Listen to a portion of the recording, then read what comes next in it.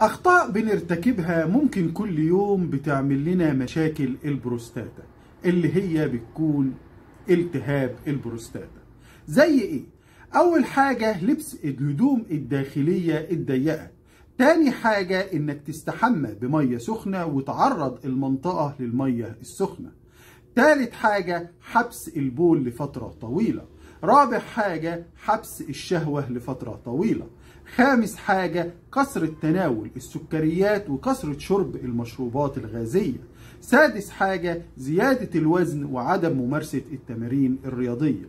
طيب يا ترى إيه هو العلاج؟ إنك تتجنب كل الكلام اللي إحنا قلناه ده. يعني إيه؟ ألبس هدوم واسعة وأما استحمى استحمى بمية باردة أو بمية دافية. أوعى تحبس البول لأنه خطر جدا مش بس على البروستاتا ده خطر على الكلى.